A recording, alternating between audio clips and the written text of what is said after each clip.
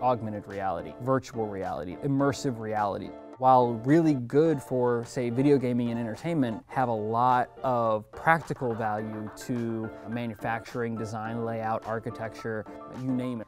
They don't have to be separated. Business solutions, enterprise software can still be valuable but interesting and kind of entertaining.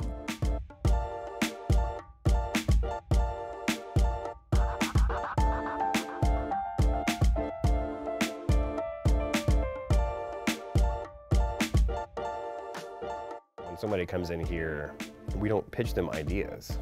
We show them what VR is. We show them what VR is capable of, and we show them what we are capable of. And then they start explaining to us what kinds of problems that could be solved.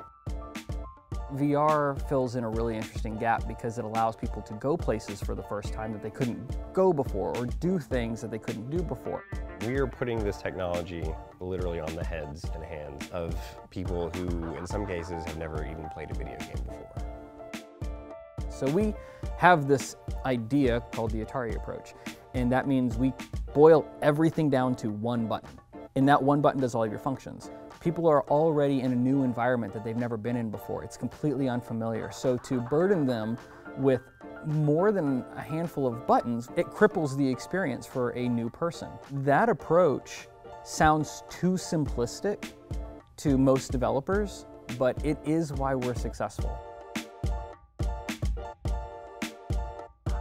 There are many things in VR that will let you express yourself in ways that traditional art mediums haven't been able to do so far.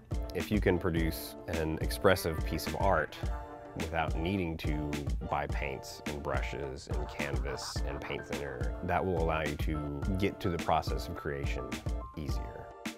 For us, our goal is to continue to expand and grow uh, and really be the company that defines what enterprise virtual reality looks like.